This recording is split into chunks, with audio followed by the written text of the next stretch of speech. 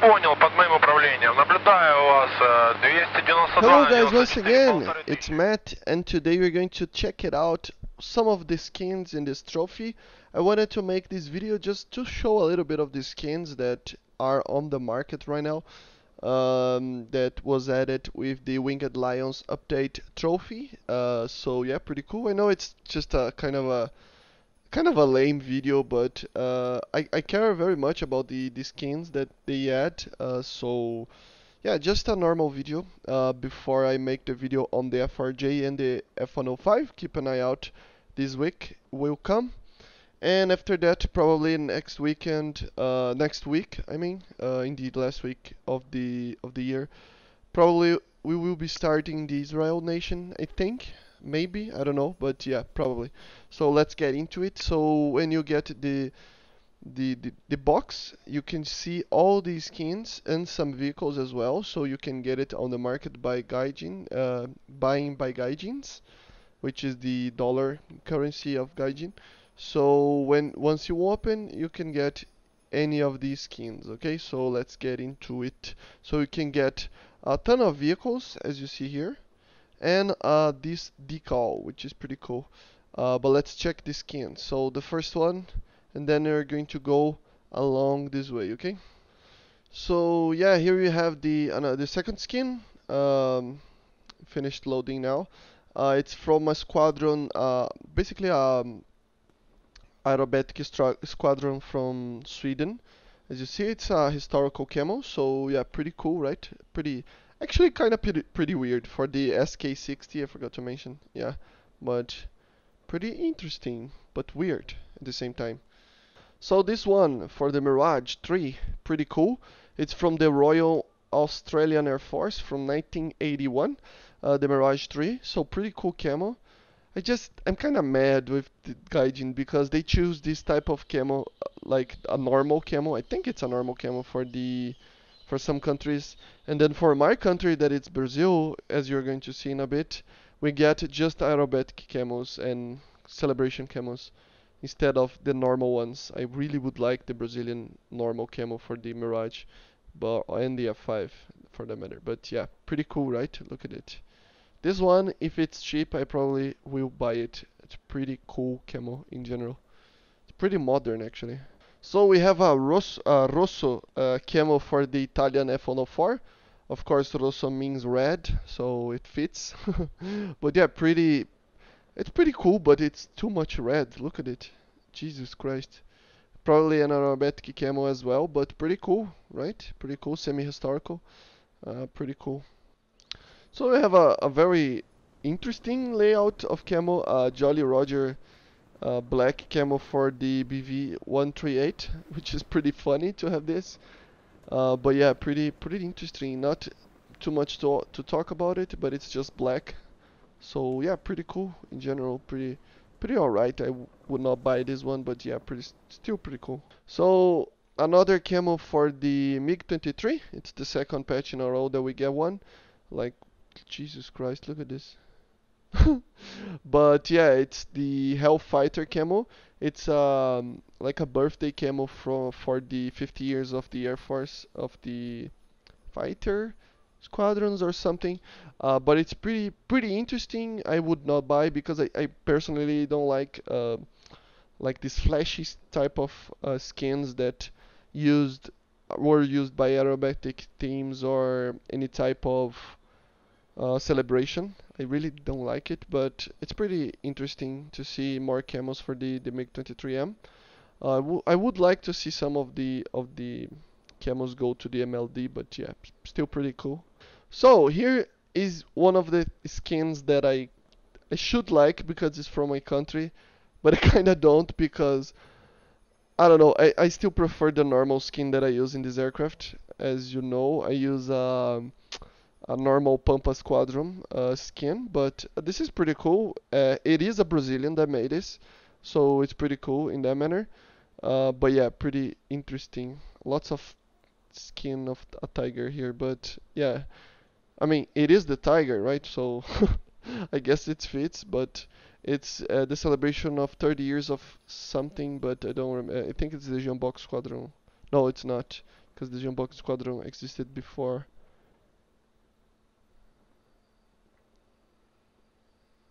Oh, it's the it's the anniversary of the F5E basically. So of uh, in service with the Brazilian Air Force. So pretty pretty cool in general, but it's probably going to cost a lot and I'm probably not gonna buy it because of it.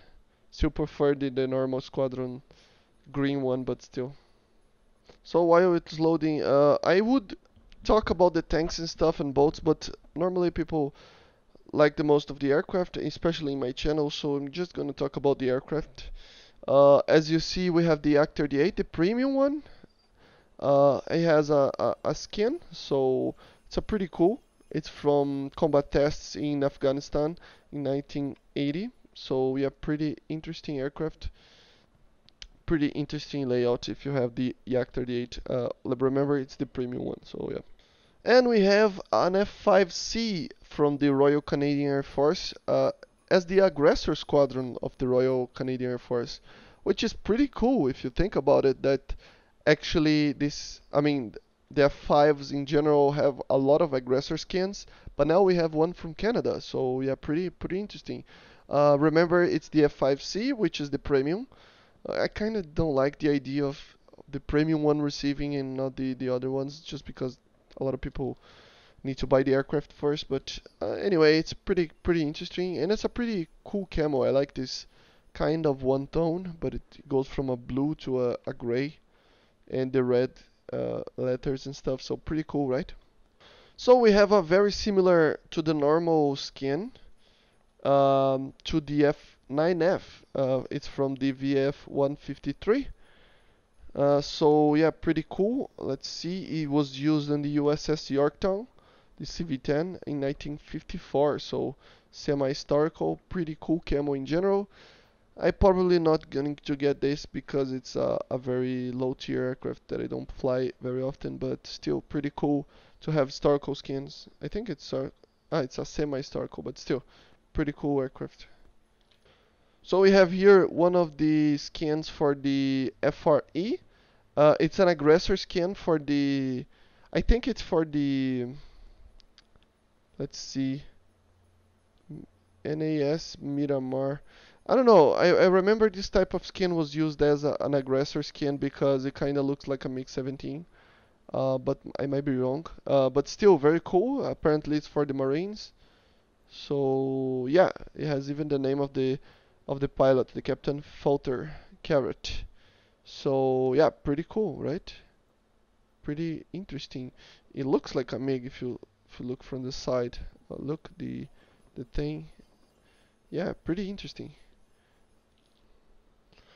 So this is one of the controversial ones. Uh, some people really like it, some people really hate it. I'm not gonna lie, I kinda don't like it, but still, uh, it's historical, so yeah, that's kinda weird. But it looks like a, a snake or something, and it's Languedoc. I, I'm butchering the French of of this, but it's from Saint Dizier Robinson Air Base in 2000. So it's a pretty modern skin, another commemoration or something. So yeah, I, I really don't like this type of skin, guys. I, I don't know why, but I really don't like it. So we have a new skin, of course, for the... So, and the other skin that we have is the A7E. It's the Olympus. Uh, it was from the um, Greek Air Force, the Hel Hel Hellenic Air Force, uh, the 336 uh, Bombardment Squadron. Uh, it's from an air show, but pretty interesting. Fly low, hit hard. Yeah, look, Jesus. But oh yeah, look at this. Air tattoo. 2014. Uh, Is this from 2008? the squadron and the name. Yeah, pretty cool, right? Pretty. I mean, I, I still don't like this type of weird camo, but uh, it's pretty. This one is pretty interesting. And we have one more for the Pyörremyrsky, uh, so the the Finnish aircraft, uh, probably for the yeah, basically after the Second World War, you'll see the the new uh, Roundel, the Cold War roundel for the, the Finnish Air Force. Pretty interesting. Uh, yeah, then the normal one. Oh, the normal one also used this one.